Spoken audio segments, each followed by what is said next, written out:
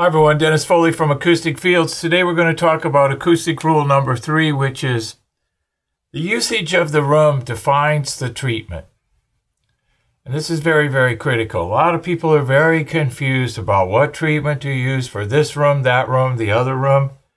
And it's not that difficult if you just step back a little bit and take a deep breath. So we're going to take a little deep breath and define some terms here and see if we can clarify this issue for you.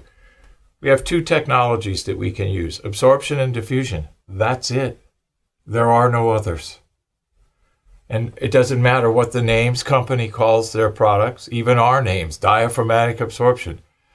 It's an absorption process. Quadratic diffusion, a diffusion process, a diffusion technology.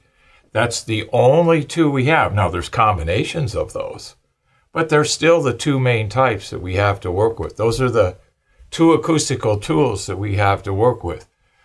One could argue that the electronic signal processing realm is another treatment technology, but we won't uh, we won't discuss that in this video. We'll save it for another time. So, with those two technologies that we have to use, we have to remember that it's all about the use.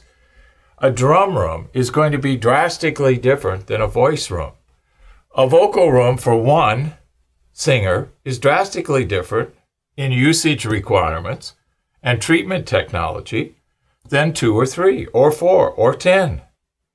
So, usage and treatment, you always have to keep this paradigm in mind. It's always what are we doing in the room and how are we going to treat it to complement the usage? And what are we trying to get out of it? Okay? So, we have to our two technologies. Look, look at a drum room. Drum room, we're going to use absorption and diffusion. We're going to use absorption for sure because we have got a lot of low frequency energies, and most rooms are not large enough to handle that energy. Diffusion is, a, is can be used. We use it in sacred ground a lot of times on the rear wall. It's really good for the china, snare, and, and tom, you know, the upper frequencies. It really helps add a little air and separation at the microphone position. So we have our drum room, absorption and diffusion, our vocal rooms, mainly our absorption that we see a lot of times, but diffusion is a popular technology now, and we've experimented with that. And we're going to start doing some videos and post some audio examples on our website of instruments, microphone, and diffusion.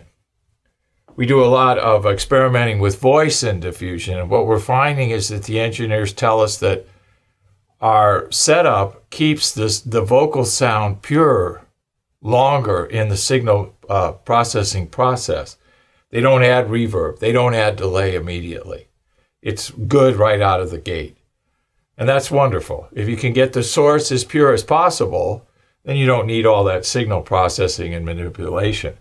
So all usages have their various degrees and levels of absorption and diffusion, our two main technologies. Low frequency energy is all about how much square footage do I need in the room to manage the low frequency issues that are in that room, which is based on its size and its volume. It's also based on the, the, the amount of energy the speakers are putting into it. There's a 2 dB gain between a 12 inch subwoofer and a 10 inch subwoofer. So that 2 dB of energy, when you're talking about frequency response, can have a big impact on the low end. 2 dB could cause maybe an 8 dB rise here in the low end. Because there's not a one to one correspondence. Once again, dependent on room size and volume. So you have to be very, very careful. And the middle frequencies, it's all about what are we going to use, absorption and diffusion. What type are we going to use? You know, are we going to use uh, broadband absorption?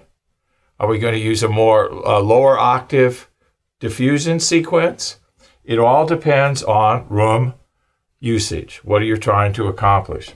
So, high frequencies are always about how much absorption do we use, how much diffusion do we use, what type, and more importantly, where do we put it? Because the microphone hears things our ears don't. So, if it's a live recorded situation or a playback mixing monitoring uh, mastering situation, it's different. So everything is different. There is no one size fits all. So if you first define what you're trying to do with it in the room, and don't try to do too many things in one room. Obviously, for, for sake of illustration here, a drum room and a vocal room couldn't be more different. You wouldn't try to record vocals in a drum room. Well, you might, but you definitely wouldn't record drum in a vocal room. So usage and treatment have to be related. There's a, a synthesis, a balance, a synergy, if you will, between those. And you always have to determine how much low frequency uh, absorption you need, where to put it, and uh, what uh, type to use depending on the magnitude of the problem. And the same holds true for middle and high frequency. So usage defines treatment. Thank you. I hope you enjoyed today's video. If you did, give me a thumbs up so I know that it had value to you. And please, if you have any questions, leave them in the comment section and I'll be more than happy to answer them for you. Alternatively, if there are other topics that you wish to discuss, discuss or see discussed in a video presentation, send me a, an email, info at acousticfields.com, and uh, we'll get them on our list and, and, get them done for you.